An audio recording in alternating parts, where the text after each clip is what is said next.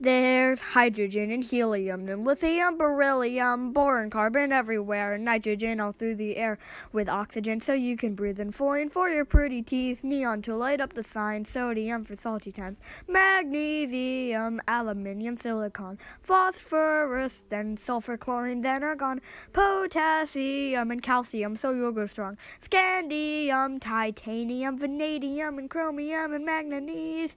This is the periodic table stable, noble gases stable, halogens and alkali react aggressively. Each period will see new outer shell or electrons are added, moving to the right. Iron is the 26th, and cobalt nickel coins you get copper, zinc, and gallium, germanium, and arsenic, selenium, and bromine. Krypton help light up your room.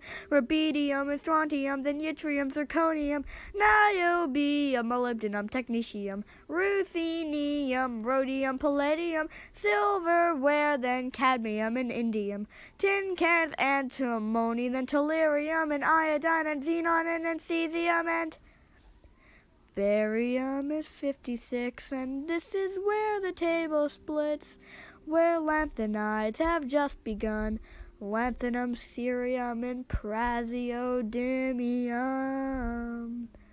Neodymium's next to promethium, then 62 samarium, europium, gadolinium, and terbium, dysprosium, holmium, erbium, thulium, ytterbium, lutetium hafnium, tantalum, tungsten, then we're on to rhenium, osmium, and iridium, platinum, gold to make you rich till you grow old, mercury to tell you when it's really cold, thallium, and lead that's good for your tummy, polonium, astatine would not be yummy, radon, francium, we lost a little time, radium, then actinium's 89.